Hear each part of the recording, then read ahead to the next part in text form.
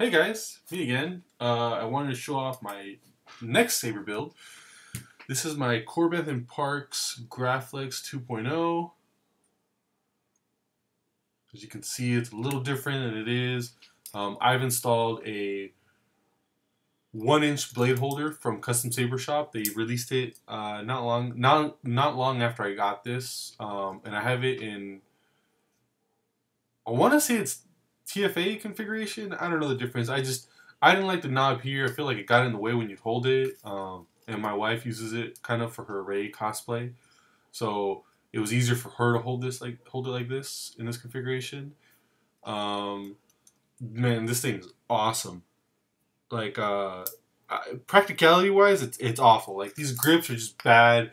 It's a, it's a fat hill. You just can't use it for dueling, but for as a, as a prop and for a display piece, it's, it's awesome.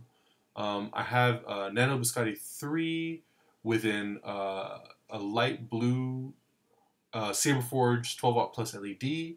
Um, I got a clamp card switch from one of the guys on the, I want to say it was the FX Sabers forum.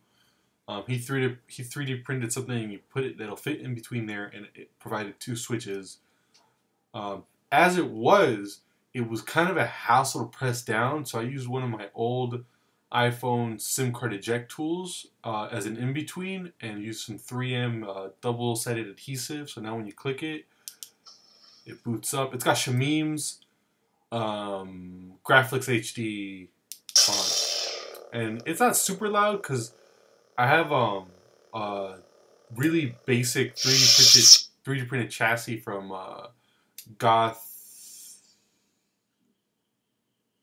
Rio, Darth Ryo, Darth Ryo on on Shapeways, um, and I have KR Sabers uh, blade plug. He's awesome, guys. If you guys ever need any Graflex parts, check him out. Um, his shipping's fast. It's like five bucks, but you'll have it usually within a week for little small things like this. But uh, take a look at that. It's pretty freaking bright. Um, I have an 18650. Like I said, Nano Biscotti. V3. Um, let me put a blade in here. This is this serves as blade retention. I lost this piece when I was um, putting the one inch blade holder in the little beard tab.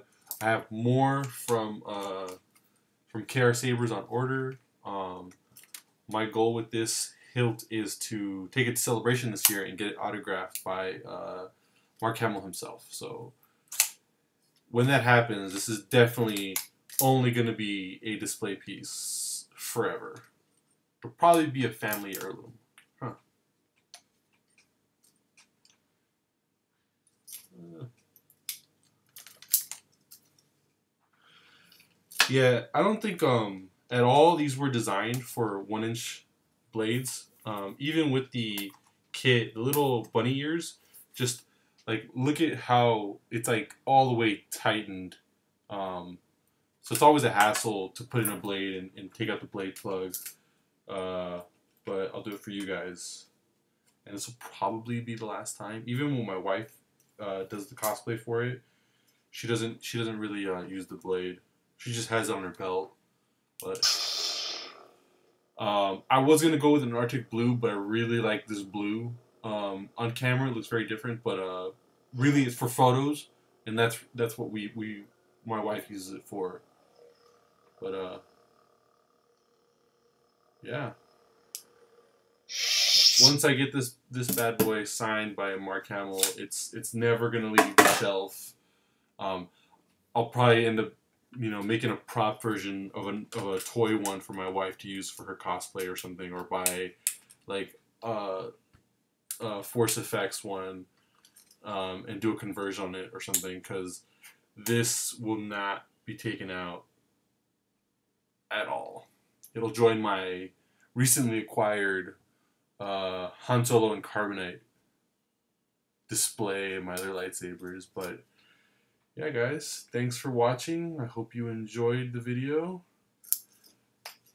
Have a great day.